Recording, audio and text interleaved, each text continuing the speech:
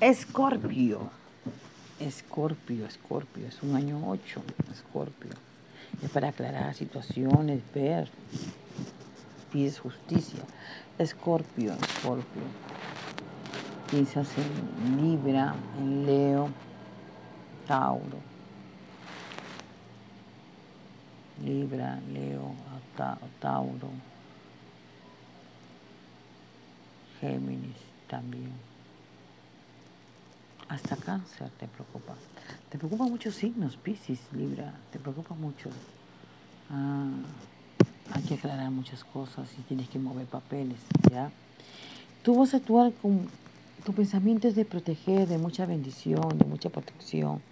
Y tus decisiones son con amor. A pesar de que tu resentimiento solo ha sido evaluando, curando tu alma, tu corazón, tu vida, a veces con pensamientos malos, pero tú ves una balanza con mucha sabiduría, con mucha versatilidad para comunicarte con las personas, para hablar con las personas. Entonces acá me habla que tú decides con amor, mudanza, nuevos afectos, está Escorpio, a veces te resientes, pero te resientes a veces por cosas, pero sin embargo es preciso prevenirse para para no llegar a eso, por motivos de dinero, por economía, por, trabajo, por negocio, esa parte de finanzas. Entonces, para evitar, tienes que prevenirte. Tienes una intuición muy fuerte, pero tú eres de, de, apoyar, de cooperar. La parte espiritual está bastante avanzada en tu pensamiento, pero en tus decisiones está siempre proteger con el tiempo y solucionar el intercambio profesional con el tiempo. Entonces personas, a veces te sientes como que estás o sirve o te sirven, por no decir otra cosa. Discusión sin solución. A veces quieres resolver algo, pero es cuestión de tiempo. Libra que diga Escorpio. Escorpio está pensando en Libra, que parece que algo tienes un tema pendiente ahí que todavía no ha resuelto con Libra. El Escorpio, te veo alianza muy desesperado, gente que se desespera por ti y tú que te desesperas por ellos. ¿no? Desorientado por motivos económicos, por temas de acá, por motivos de, de desconsuelo, acontecimiento imprevisto, personas que estén pendientes. Tú no sabes a quién elegir. Escorpio, Escorpio, tú vas a estar en una situación entre que, viene resentimiento, fastidio, un poquito de agua, que vas a estar fastidiado, un poco incómodo porque por la misma situación, por las mismas cosas que están pasando, por las mismas, este, el fastidio, incomodidad, ¿no? En que quién te hizo más daño, quién te hirió mucho y desconfiado. Por eso que a veces cuando está por, ah, no, ese lado de ahí. Pero te veo muy ilusionado, muy ilusionado, Scorpio. Muy ilusionado en tu amor y lo nuevo. Lo nuevo viene a ti y tú quieres renacer porque tú no estás muerta. Si eres mayor o eres joven, no estás muerto, tú vas a renacer, tú vas a vivir en la parte económica, vas a mejorar y tu economía va a mejorar, vas a renacer, no gastes la plata por las puras, no te ahora está así, gozo, puro satisfacción, contento, tu moral y tu honra y suerte.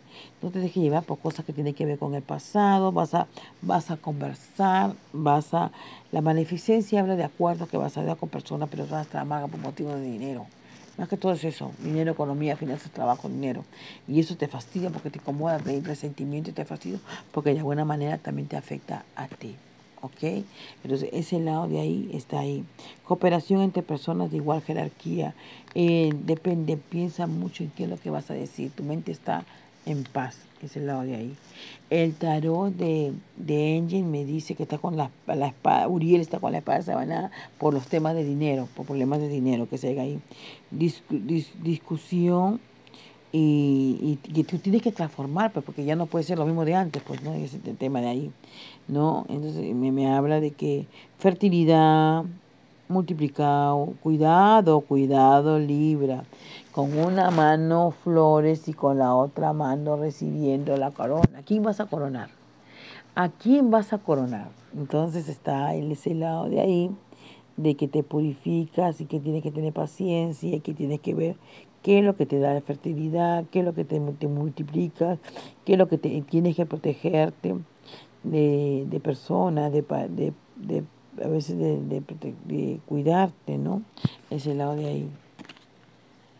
Y me dice Rafael, el arcángel Rafael, que es el 3 de World Espada, me dice que eh, amor, amor, pero no un amor sumiso, un amor sumiso no, y que te cures tus heridas, que te cures eh, de, las que influyan en ti, en la parte paternal. El amor está, pero tú tienes un amor más de hombre que de mujer.